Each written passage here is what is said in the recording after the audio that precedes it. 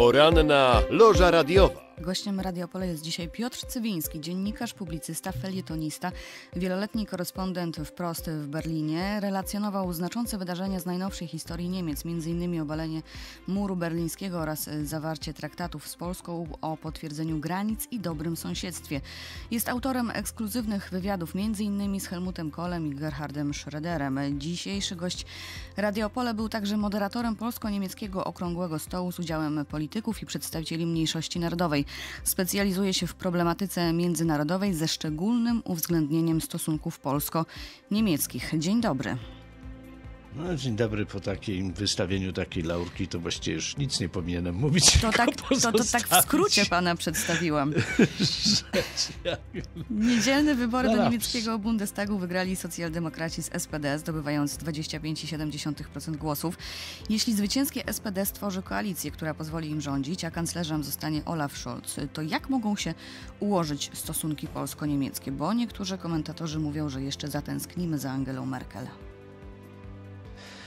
Eee, nie tylko to mówią. Eee, niestety, no, Radosław Sikorski, który był szefem Ozgrozo polskiej dyplomacji, a który nazywał pępowinę niemiecko-rosyjską, czyli Nord Stream 1 gazociąg, nazwał to, określił jako nowy pakt Ribbentropa-Mołotowa.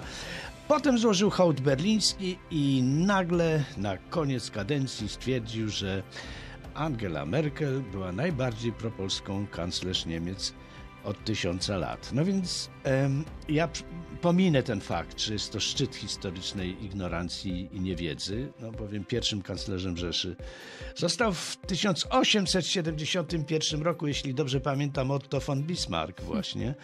No, e, e, który siłą doprowadził do zjednoczenia Niemiec. Niemcy są jednym z najmłodszych państw w Europie. Wcześniej były to walczące z sobą państewka, no i mówienie o takiej tysiącletniej historii Niemiec i o kanclerzu tysiąclecia, jak to określił był pan Radosław, no to tak jakby, nie wiem, mówić o tysiącletniej historii Związku Socjalistycznych Republik Radzieckich. No ale zostawmy to na boku. Może rzeczywiście e, na e, użytek słuchaczy. Przypomnijmy sobie tak naprawdę w sensie esencjonalnym, tych poprzedników, y, y, poprzednich, poprzedników kanclerz Angeli Merkel, no to dosłownie symbolicznie pierwszym powojennym kanclerzem Konrad Adenauer, no to pewnie starsi pamiętają jego fotografię w krzyżackim płaszczu, no nie muszę tego rozwijać. Potem jego następcą został Ludwik Erhard, no świetny minister gospodarki, który doprowadził do cudu gospodarczego Niemiec, ale tenże Erhard, no, pracował, on był na usługach hitlerowskich władz. I uwaga, był ekspertem ekspertem do tego, jak zagospodarować i wykorzystać podbity wschód, czyli właśnie okupowaną Polskę, co zrobić z konfiskatą majątku polskich przedsiębiorstw y, i tak dalej, i tak dalej. No więc następny z kolei był Kurt y, Kissinger, członek hitlerowskiej NSDAP i szef propagandy w kancelarii III Rzeszy. No, a, a po wojnie, uwaga, kierował wielką koalicją, taką jaką mamy jeszcze obecnie, mm. czyli Hadeków z CDU, CSU i SPD. Kolejnym był Willy Brandt. Ten był za odprężeniem. Pamiętamy jego przyklęknięcie, ale musimy sobie też zdać sprawę, że to przyklęknięcie było pod pomnikiem bohaterów getta żydowskiego w Warszawie i nie było to jednak wyrazem takiej skruchy za zbrodniczą napaść III Rzeszy na Polskę. Niemniej to był rzeczywiście, jeżeli mówić o przychylności, bardzo przychylny. Następny był, następcą jego był Helmut Schmidt, który z kolei wychwalał wprowadzenie stanu wojennego, czego nie musimy y, komentować przez generała Jaruzelskiego oczywiście. Potem był Helmut Kohl. No to Helmut Kohl był zaciekłym przeciwnikiem Branta i polityki odprężeniowej. Twierdził, że uznanie granicy na Odrze się to zdrada. No i mało tego, już podczas rozmów 2 plus 4 Y, usiłował podważyć te granice i co sam przyznał później, uznał je wyłącznie pod naciskiem y, Amerykanów. No potem był Gerhard Schröder, który zrealizował tę pępowinę, o której wspomniałem, który do y, inauguracyjnego przemówienia w odbudowanym budynku Reichstagu zaprosił prezydenta Putina, który blokował przyjęcie i wydłużał Polski do układu Schengen, który blokował dostęp do rynku pracy niemieckiego dla Polski, więc długo by mówić. No i następnie była pani kanclerz Merkel, żeby już e, do tej rzeczywistości dotrzeć dzisiejszej. Ja byłem przy tym, jak był podpisywany ten układ, umowa o budowie gazociągu. No, pani Merkel była wówczas liderką opozycji klaskała z radości w dłonie. Mówiła, że to jest najwspanialszy dzień, uwaga, w dziejach bilateralnych, czyli dwustronnych stosunków rosyjsko-niemieckich. To y, y, zresztą była tak daleko y, entuzjastką tej pępowiny gazowej, że przecież ona przeboksowała aż do końca, bo już w końcu jest ten, powstał w zasadzie ten drugi odcinek, podwójne rury Nord Stream 2. No i teraz jeszcze trzy zdania o samej pani Merkel. Jaką to ona była najlepszą w dziejach cytując znowu Sikorskiego, tysiącletnich e, kanclerz najbardziej przyjazną dla Polski, no to przypomnijmy sobie sprzeciw szefa dyplomacji w jej rządzie wobec tarczy antyrakietowej w Polsce, które uznawał i, i, i argumentował, że to drażnienie Rosji, że to machanie szabelką i tak dalej. No przypomnijmy sobie wspieranie Merkel i ustępstwa wobec BDV, czyli Bundesvertriebenen, Związku Wypędzonych, uchwalenie Dnia Wypędzonych. Wreszcie, no mieliśmy tę historię najnowszą, czyli Willkommenspolitik, kanclerz Merkel, czyli politykę imigracyjną, która spowodowała powódź no, z tragicznym skutkiem taką imigracyjną w Europie.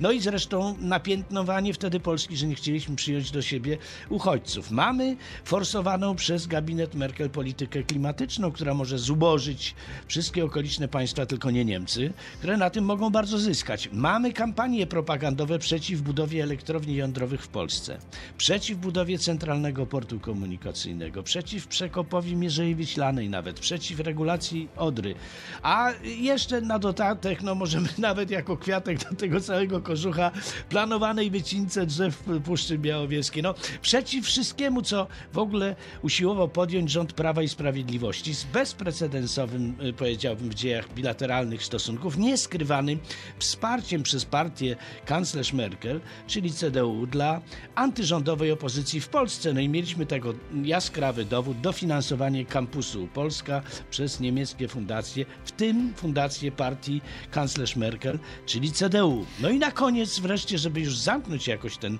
te, te kwestie tej najlepszej, najbardziej przyjaznej kanclerz, no dała tego popis w Łazienkach. Był to spektakl arogancji, po, po, e, e, aroganckiej postawy, powiedziałbym, wobec Polski, na tym pożegnalnym spotkaniu z premierem Mazowieckim, na którym pozwoliła sobie na krytyczne uwagi i pouczenia w kwestiach reformy wymiaru sprawiedliwości w naszym kraju, no i w tym dotyczących Izby dyscyplinarne. Więc jeśli to wszystko, o czym w tej chwili y, mówiliśmy, mają być dowody na najbardziej przyjazny stosunek ustępującej kanclerz y, y, do naszego kraju, no to co zatem można powiedzieć o wszystkich innych? No to nie wiem, to wypada nam chyba tylko złożyć podziękowanie, że Niemcy do tej pory nie wypowiedziały nam wojnę. A no Olaf Scholz, Przypomnijmy sobie jeszcze jedno, takie bardzo, bar, bardzo symboliczne jeszcze, dosłownie dwa mhm. obrazki. Idolką kanclerz Merkel była caryca Katarzyna Wielka, dedomo księżna Anhalt-Zerbst, której to portret pani Merkel woziła z sobą od biura do biura. Kim była caryca Katarzyna Wielka? No my w Polsce doskonale o tym wiemy, bo zostaliśmy wymazani z mapy. Idolem kanclerza Gerharda Schrödera był wspomniany wcześniej przeze mnie Otto von Bismarck. I również Schröder woził za sobą od biura do biura e, jego portret. No a Bismarck, wybitnie antypolski, dość wspomnieć, rugi e, pruskie. No więc... Więc co, cóż, czekamy no, jeżeli na ktoś w tym kontekście w uważa, że ma, mieliśmy samych przyjaznych kanclerzy, no to, to herzlich willkommen. A jakim kanclerzem może być Olaf Scholz, jeżeli będzie kanclerzem? Takim samym. Jeżeli ktoś oczekuje, że y, Niemcy zmienią swoją y, politykę diametralnie wobec Polski, to y, musi postawić jedyny warunek. Pod tym warunkiem będzie zmiana postawy przede wszystkim polskich polityków. Kanclerze Niemiec, którykolwiek by to nie był, y, proszę zwrócić uwagę, że ja wymieniałem wszystkich kanclerzy zarówno y, lewicy, jak i prawicy. Mm, symbolicznie nazwijmy to prawicą czy lewicą, bo już dzisiaj się to wszystko zatarło.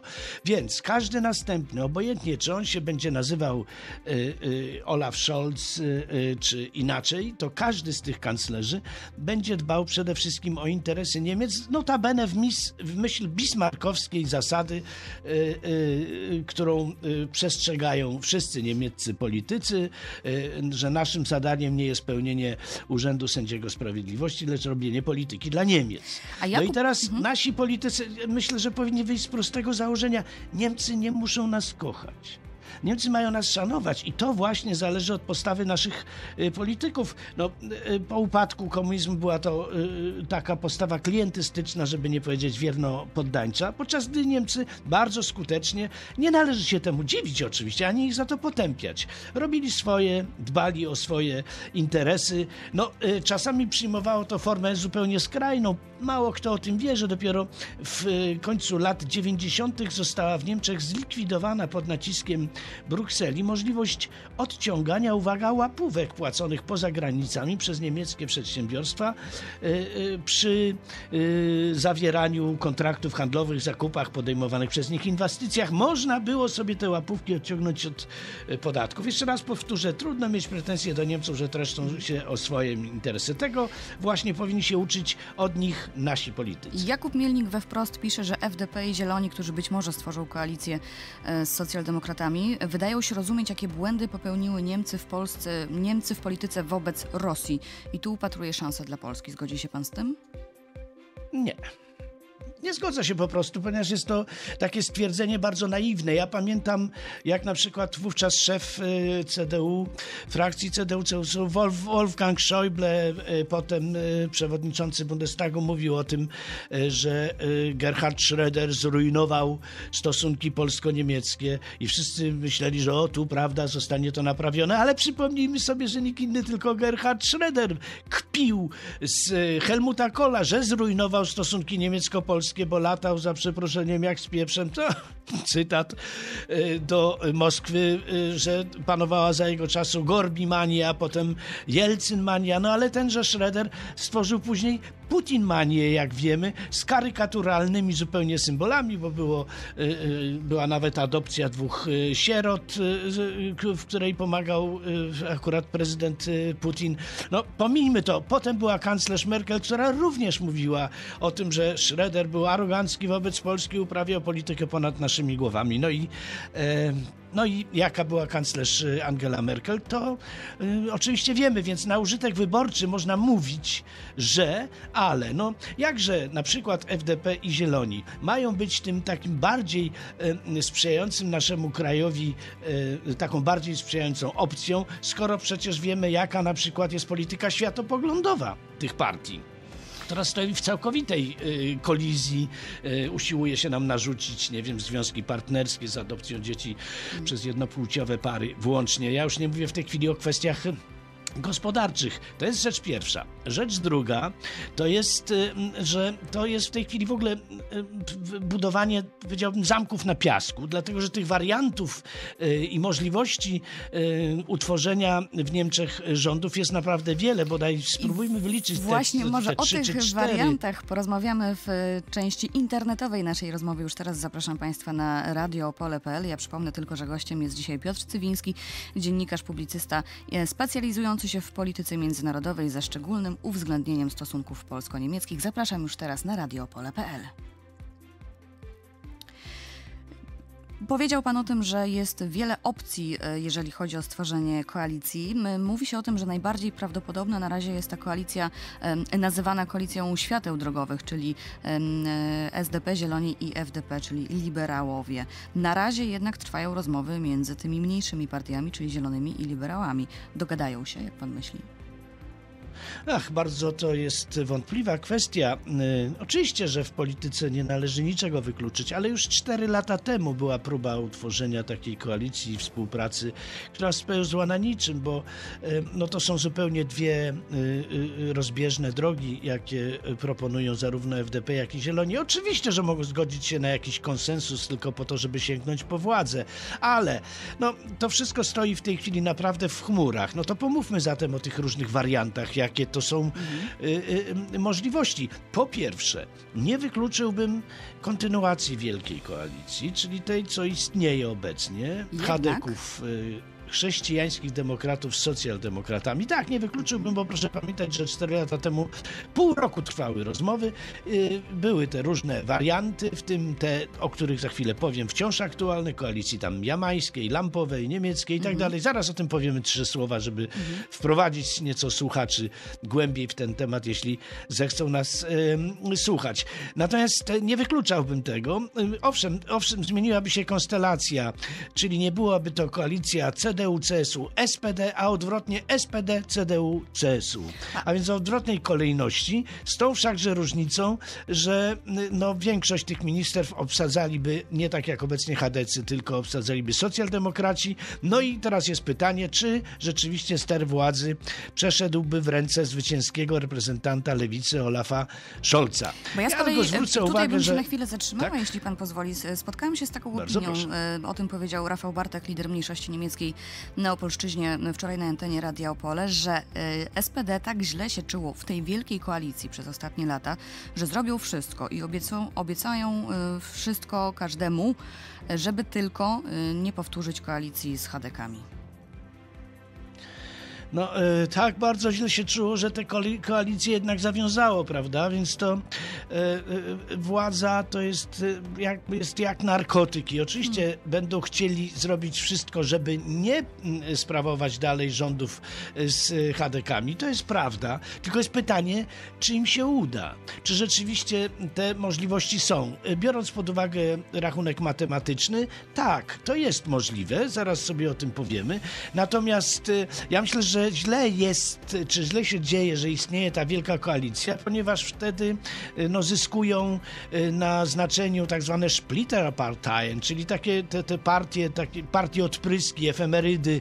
E, No, przykładem powstania i partii, która urosła w siłę i stała się do tej pory największą partią opozycyjną w niemieckim parlamencie, czyli w Bundestagu, jest alternatywa dla Niemiec. Ale pomówmy o tych wariantach zatem. Czyli jeżeli nie koalicja wielka, y, pod y, batutą kanclerza Olafa Scholza. Nie, nie widzę go jako dobrego kanclerza, choćby z tej przyczyny, że zresztą jego aspiracje zostały utemperowane, y, biorąc pod uwagę funkcje wewnątrzpartyjne. No ale to już mniejsza sprawa, z tym porozmawiamy o tym może szerzej, gdy rzeczywiście któryś z tych y, kandydatów będzie wyłoniony. Tym drugim wariantem, y, bardzo prawdopodobnym y, z rachunku matematycznego jest ta koalicja tak zwana jamajska, to jest od barw y, partii, no i barw y, flagi y, y, Jamajki, Y, czyli to jest koalicja chadeków symbolizowanych kolorem czarnym z przystawkami zielonych i liberałów, którzy, których symbolem jest kolor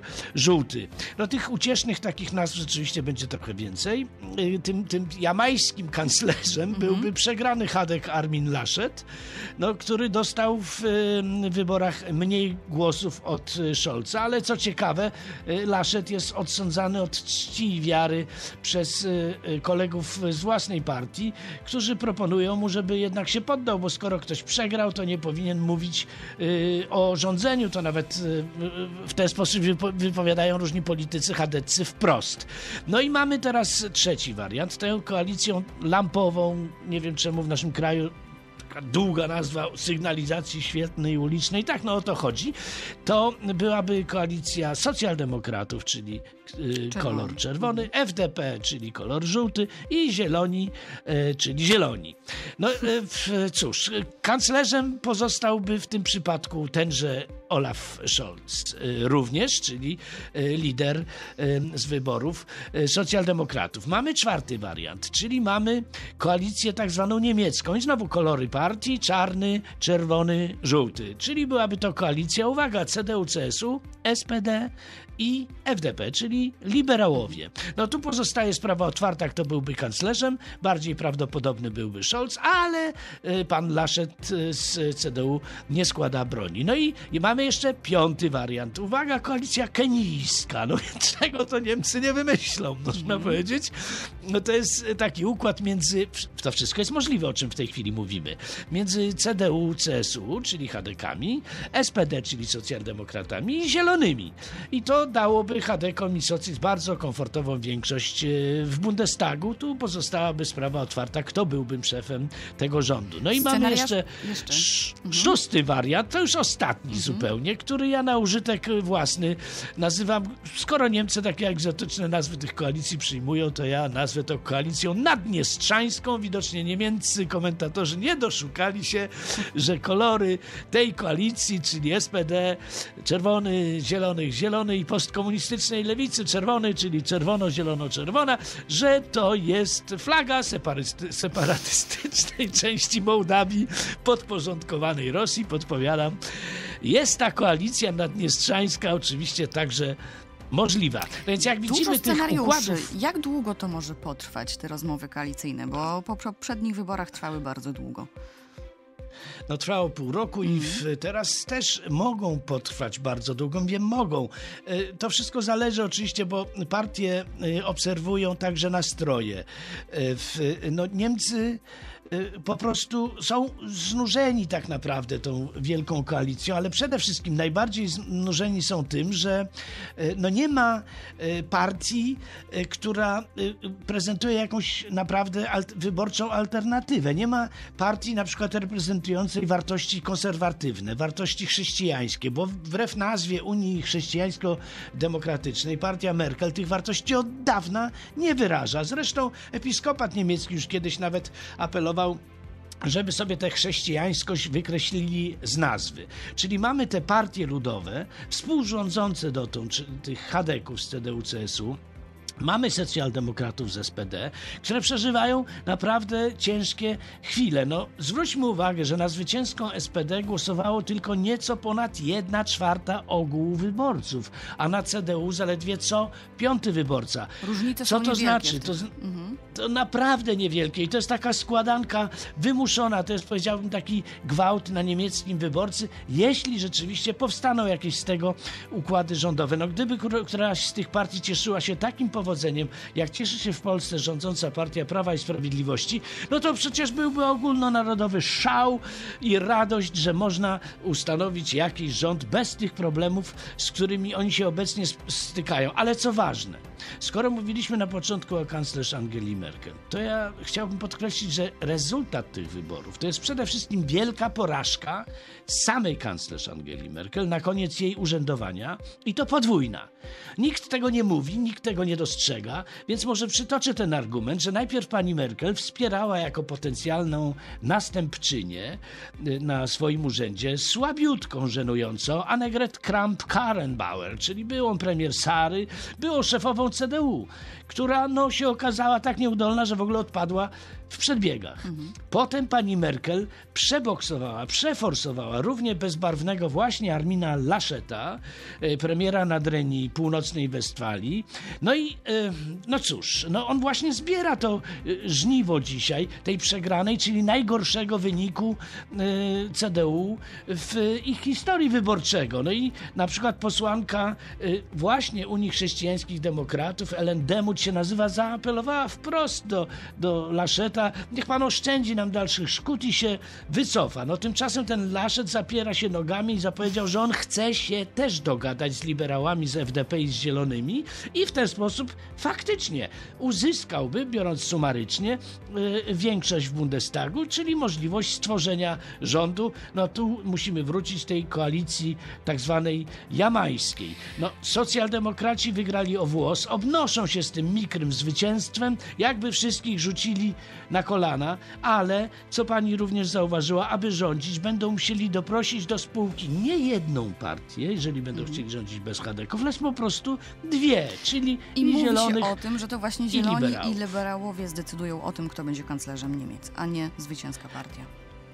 Czy tak, to y, się jeszcze okaże, dlatego że to zależy od tego, co y, zwycięska partia, bardzo to brzmi dziwnie, zwycięska z takim mizernym wynikiem, ale jak nie patrzeć, zwycięska, zależy co mają do zaproponowania. Kto będzie wicekanclerzem, kto będzie ministrem gospodarki, no to już będzie miało najróżniejsze reperkusje, ale ja myślę, że mu- musimy, moglibyśmy na ten temat mówić przez następne dwie godziny, zanudzić słuchaczy.